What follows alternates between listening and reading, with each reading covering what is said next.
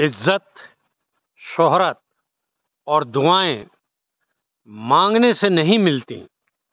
जी हाँ इन्हें अपने सदाचरण से, सदव्यवहार से कमाना पड़ता है।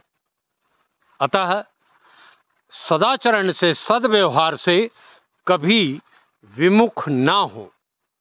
याद रखें, शोहरत, इज़्ज़त और दुआओं का कोई व्यापार नहीं होता, कोई बाज़ार नहीं होता।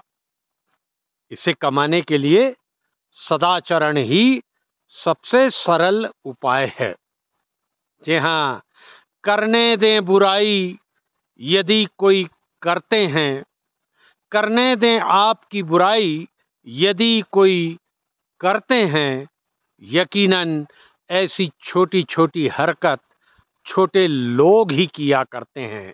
तो बोलिए जय श्री राम हो गया काम।